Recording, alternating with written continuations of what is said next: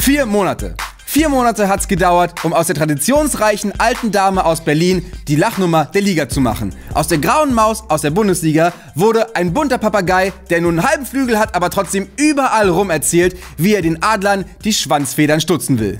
Hertha steckt mittendrin im Abstiegskampf, spielt den schlechtesten Fußball der Liga und präsentiert sich trotzdem wie ein neureicher Schnöseliger-Bänge, der dreimal sitzen geblieben ist und das Geld der Scheinfirma seines Vaters in Mercedes AMG und Rolex-Uhren investiert. Und die Rolex-Uhren, das ist das Witzige, kommen erst im Sommer aus Frankreich. Nachdem man sich dann im Sommer von Trainerteam Paul Dardai und Rainer Wittmeier getrennt hat, Hertha-Legende und Taktikfuchs, möchte man seiner Linie treu bleiben und holt Ante Czovic rein. Einer, der Hertha liebt und lebt aber trotzdem vielleicht für den Posten als Bundesliga-Trainer eine etwas zu kleine Nummer ist. Gleichzeitig holt man sich noch einen neuen Investor mit rein, der shadier ist als Eminem 2000 und beruft ihn in den Aufsichtsrat, wo er sich hinsetzt wie ein Pascha und mit seinen Millionen wedelt, damit auch jeder begreift, der vorher Berlin nicht mal mit dem Arsch angeguckt hat, dass es jetzt bei Hertha was abzugreifen gibt. Über 200 Millionen Euro pumpt Lars Windhorst in den Verein, nur um mit anzusehen, dass man statt um Europa mitzuspielen, immer weiter im Sumpf des letzten Tabellendrittels versinkt.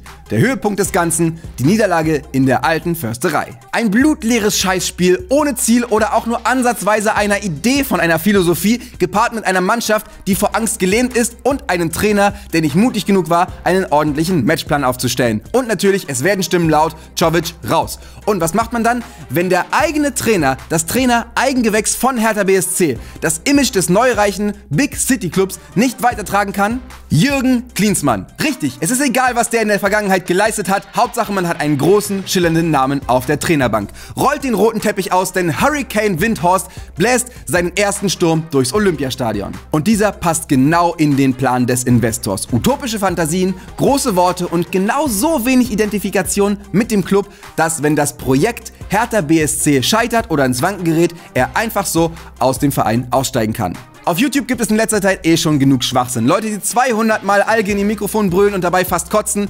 Beef zwischen YouTubern, die eh schon 5000 Häuser haben und auf einer Insel wohnen. Und Fake-Outings mit unfassbarem medialen Backlash. Und trotzdem schafft es Jürgen Klinsmann mit seinen Pressekonferenzen die idiotischsten Videos auf YouTube zu haben. Die Rede ist vom Big City Club, der in drei bis fünf Jahren um die deutsche Meisterschaft mitspielen soll.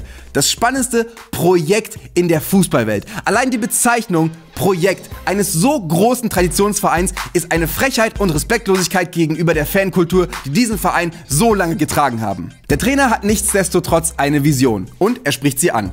Einigen gefällt's, einigen vielleicht nicht so. Und erstmals haben auch andere Spieler von anderen Vereinen Interesse an Hertha BSC, die gehobenes Bundesliga-Niveau hätten. Und natürlich, Jürgen Klinsmann kann aus den Vollen schöpfen und sucht sich seine Lieblingsspieler aus, die zu seiner Philosophie passen. Es gipfelt also darin, dass man 75 Millionen Euro im Wintertransferfenster ausgibt, das meiste Geld von allen Vereinen auf der ganzen Welt und natürlich vereinsinterne und Bundesliga-Rekorde bricht. Und nach vier Spielen in 2020, von denen man 50% verloren und 100% Scheiße gespielt hat, besitzt Jürgen Klinsmann die Dreistigkeit, auf Facebook seinen Rücktritt vom Cheftrainerposten bei Hertha BSC bekannt zu geben und das ohne dass die Vereinsführung irgendwas davon weiß. Und nicht nur das, Lars Windhorst war der Erste, der davon erfuhr. Schon am Montagabend vor allen Verantwortlichen wusste Lars Windhorst, der Investor von Jürgen Klinsmanns Rücktritt. Und wenn das wirklich stimmt, dann sind wir gerade nicht nur auf dem Weg, ein Retortenclub zu werden, sondern sind schon viel schlimmer. Als Hertha-Fan muss ich sagen, ich finde es eine Farce, dass dieser unprofessionelle, respektlose Blender immer noch auf dem Trainingsgelände von Hertha BSC erlaubt ist und nicht schon lange aus dem Aufsichtsrat rausgeschmissen wurde und seine Mitgliedschaft gekündigt wurde, wenn er überhaupt jemals eine hatte. Hertha BSC ist unter anderem bekannt für herausragende Jugendarbeit. Nur blöd, wenn man auf Jugend scheißt und 24 Millionen Euro für einen Franzosen ausgibt, der erstens gar nicht seinen Club verlassen darf und zweitens noch gar nicht sicher ist, ob er überhaupt zu Hertha BSC will. Und auch verdiente Spieler wie Salomon Kalou oder André Duda werden vom Hof gejagt, weil sie nicht in die Philosophie passen, wie auch immer diese Philosophie aussehen soll. Das alles zeigt, niemand bei Hertha BSC ist auch nur irgendwie daran interessiert, wie es dem Club geht oder wie es in Zukunft weitergehen soll. Und die, die daran interessiert sind, zum Beispiel Michael Preetz oder Arne Meyer, sind zu schockiert, irgendwas zu machen oder wollen den Club verlassen, weil sie keinen Bock mehr drauf haben. Jürgen Klinsmann hat zusammen mit Lars Windhorst nicht nur seine eigene Karriere beendet, sondern wahrscheinlich auch die von vielen anderen Hertha-Funktionären und Spielern.